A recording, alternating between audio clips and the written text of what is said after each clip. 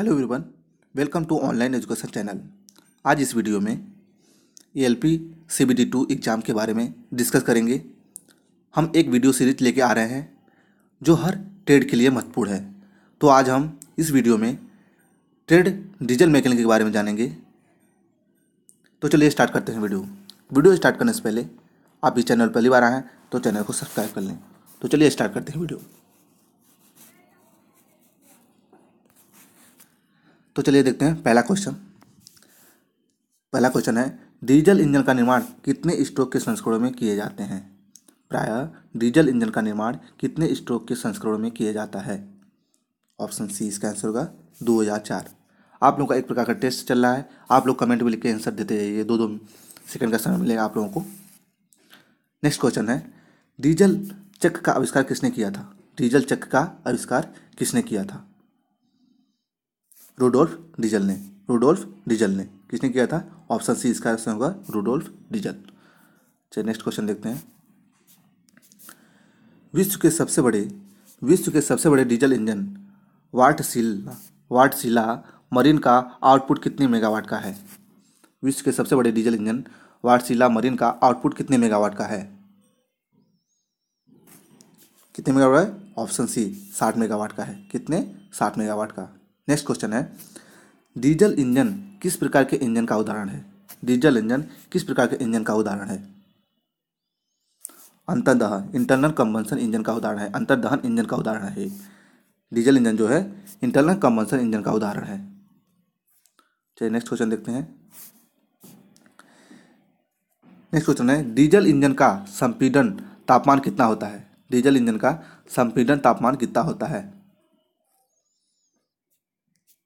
कितना होता है टेम्परेचर ऑप्शन बी 650 से 800 फ़ारेनहाइट 650 से 800 फ़ारेनहाइट होता है। आपको 750 डिग्री सेंटीग्रेड मिले भी तो भी ऑप्शन में आप लगा सकते हैं। पिछले रेलवे एग्ज़ाम में 750 डिग्री दिया था। नेक्स्ट क्वेश्चन है, डीजल इंजन का उच्च संपीडन अनुपात कितना होता है? डीजल इंजन का उच्च संपीडन अनुपात कितना होता है? ऑप्शन सी इसका आंसर होगा ग्यारह रेशियो वन से बीस रेशियो वन तक। ग्यारह रेशियो वन से बीस रेशियो वन तक। चलिए नेक्स्ट क्वेश्चन देखते हैं। डीजल इंजन का संपीड़न कितना परिवर्तनशील होता है? डीजल इंजन का संपीड़न अनुपात कितना परिवर्तनशील होता है? चालीस से पैंतालीस, ऑप्शन सी इसका आंसर होगा, ऑप्शन सी। नेक्स्ट क्वेश्चन है, डीजल इंजन का संपीड़न का अनुपात कितना परिवर्तनशील होता है? सॉरी, वही क्वेश्चन रिपीट हो गया ये। नेक्स्ट क्वेश्चन है, रीमर किस धातु के समानता बनाए जाते हैं? रीमर किस धातु के समानता बनाए जाते हैं? औजारी, मिश्र धातु, औजारी, मिश्र धातु, ऑप्शन डी ऑप्शन डी। चलिए नेक्स्ट देखते हैं। मिलनिंग मशीन पर कटाई क्रिया में कटर को ठंडा रखने के लिए, कटर को ठंडा रखने के लिए निम्नलिखित में किसका प्रयोग किया जाता है? बहुत इंपॉर्टेंट क्वेश्चन है।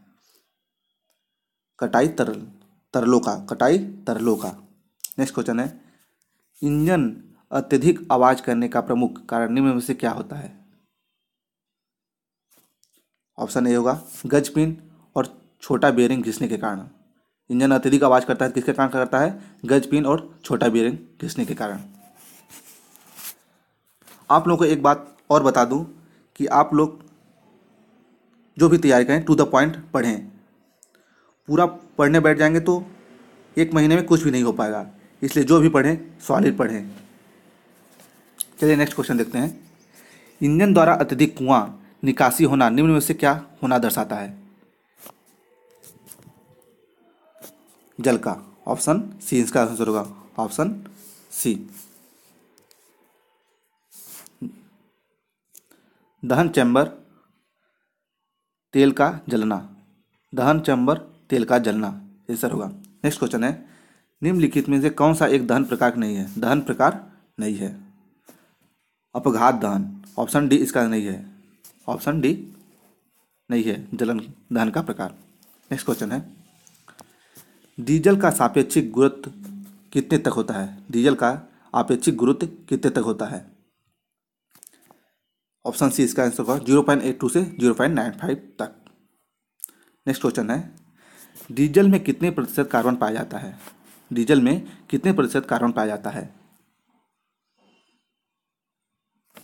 ऑप्शन सी इसका आंसर होगा पचासी से अठासी प्रतिशत तक। पचासी से अठासी प्रतिशत तक। चलिए नेक्स्ट देखते हैं। डीजल में कितने प्रतिशत कार्बन पाया जाता है? डीजल में कितने प्रतिशत कार्बन पाया जाता है? सॉरी डबल हो, गया पचासी से अठासी प्रतिशत तक। नेक्स्ट है। निम्नलिखित में कौन सा रोलिंग अवयव बेयरिंग का प्रकार है? निम्नलिखित में से कौन सा एक रोलिंग अवयव का बेयरिंग का प्रकार है? रोलिंग अवयव बेयरिंग का प्रकार है। बाल बेरिंग कौन सा? Ball bearing option B next question चलिए देखते हैं. निम्नलिखित में से किस बेरिंग को एंट्रिक फ्रिक्शन या प्रतिघर्षण बेरिंग कहते हैं? बहुत ही अच्छा क्वेश्चन है. किस बेरिंग को एंट्रिक फ्रिक्शन या प्रतिघर्षण बेरिंग कहते हैं? ऑप्शन बी इसका आंसर होगा रोलिंग अवयव बेरिंग को. रोलिंग अवयव बेरिंग को कहते हैं. नेक्स्ट क्वेश्चन है. सभी गियर साधारणतः किस धातु के बने होते हैं? जो गियर होते हैं, किस धातु के बने होते हैं? ढलवा लोहा या इस्पात का? गियर किसके बने होते हैं? ढलवा लोहा या इस्पात का। पिस्टन जिसको, पिस्टन जिसका बना होता है, पिस्टन, वो एल्यूमिनियम का ना होता है, एल्यूमिनियम एलॉय का। पिस्टन जो बना होता है, और ये जो गियर बना होता है, वो ढलवा लोहा का बना होता है। चलिए नेक्स्ट क्वेश्चन देखते हैं। मैं जितना भी ये क्वेश्चन करवा रहा हूँ यह पिछले एल एग्ज़ाम में आए हुए हैं। इसलिए ध्यान से इस वीडियो को करें, जिसमें आप लोग आने वाले एल एग्ज़ाम के लिए जो भी क्वेश्चन आए, आसानी से आप लोग कर पाएँ। नेक्स्ट क्वेश्चन है, निम्नलिखित में कौन सा सिलेंडर पिस्टन के दाब के कारण होने वाली हानि? कौन सी है सिलेंडर में पिस्टन के दाब के होने का हानि होती है? चोक चोक के कारण हानि होती है। निम्नलिखित में किस इंजन का वाटर कूल्ड होता है? नेक्स्ट क्वेश्चन है, निम्न में से किस इंजन का वाटर कूल्ड होता है? फोर स्ट्रोक इंजन का वाटर कूल्ड होता है। फोर स्ट्रोक इंजन का वाटर कूल्ड होता है। नेक्स्ट क्वेश्चन है, किस इंजन के प्रत्येक चक्र में एक पावर स्ट्रोक होता है? किस इंजन के प्रत्येक चक्र में एक पावर स्ट्रोक होता है? टू स्ट्रोक इंजन में, टू स्ट्रोक इंजन में, प्रत्येक स्ट्रोक में एक पावर इंजन होता है। नेक्स्ट क्वेश्चन है निम्नलिखित में कौन सा एक लौह डाई पदार्थ नहीं है? लौह डाई पदार्थ नहीं है। औज़ार एल्युमिनियम, क्या है? औज़ार एल्युमिनियम लौह डाई पदार्थ नहीं है। नेक्स्ट क्वेश्चन निम्नलिखित में कौन सा एक लौह डाई पदार्थ नहीं है? क्वेश्चन रिपीट हो गया है।